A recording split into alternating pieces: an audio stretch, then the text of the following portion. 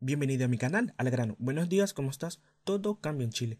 Hoy presento cómo hacer consultas de estado de análisis de solicitud de regulación Piñera. Dicho enlace se los dejo en la descripción de este video. En este campo vamos a introducir el número de RUN o el número de pasaporte. Si el número de pasaporte comprende de letras antes de los números, lo incluimos. Una vez hecho esto, pulsamos sobre Siguiente. Dependiendo del análisis, el sistema alojará resultados diferentes. En esta oportunidad aloja este resultado. Pulsamos sobre Siguiente. Pulsamos sobre Finalizar. Y bueno, mis amigos, esto fue todo por hoy.